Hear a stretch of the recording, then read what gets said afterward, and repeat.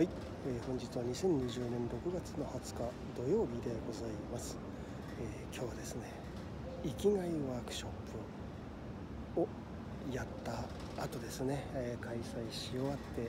ちょっとまあほっと一息つきながらこう振り返りをしているっていうそんな感じですね。あのーまあ、生きがいワークショップ自体もだいぶ、まあ、なんだかんだ言って久しぶりになってしまったんだけれどもそれよりもね、まあ、とにもかくにも、あのコロナですよ。コロナの影響で、えー3月以降かなワークショップを軒並み中止してで、まあ、自分としてはねちょっとこうウェブ化の波に乗り遅れたなみたいな、えーちょっと感覚があったんですけどまあちょっとそれはさておいてあ本日6月20日にですねようやくコロナ明け第1回目のですねセミナーを今更オンラインで 今更オンラインでだったんですけど、えーやることができました。お越しくださった皆さん本当にありがとうございます。あので今回はね特にまあまだコロナの影響があるのかな。そこら辺はよくわからないけれども、えー参加者の数がすごく少なかったんですね。で逆にねなんかこ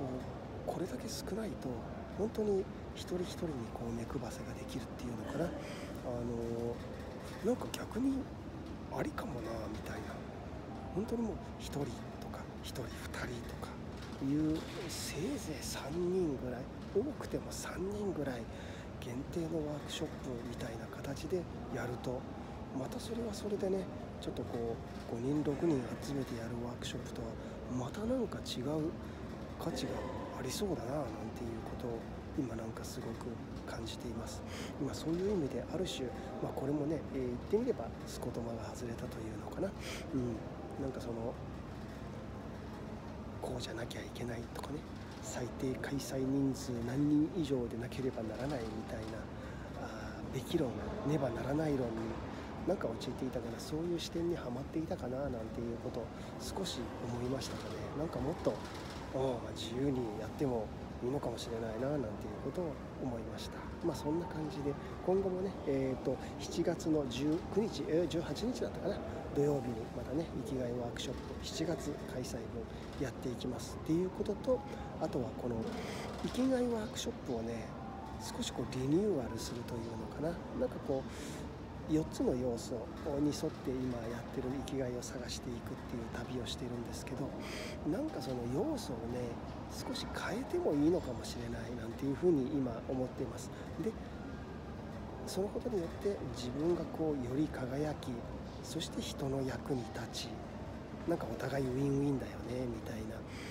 ことでどう人に感謝されながら自分の役割というのを明確にして生きていくか。でそれをまあうまいことビジネスに乗っけていかれないかみたいなね。なんかそんなことのワークショップっていうのかな。新しいなんかこう自分軸ビジネス構築講座みたいな構築まあ講座じゃないかな。ワークショップみたいな。なんかねそんな感じのものをなんかちょっとこの生きがいワークショップの発展系としてねやってみたいななんてそんなこともちょっと最近考えているところですよっていうようなことを、えお話をして、え今日はこのぐらいにしたいと思います。ありがとうございました。ご参考までに。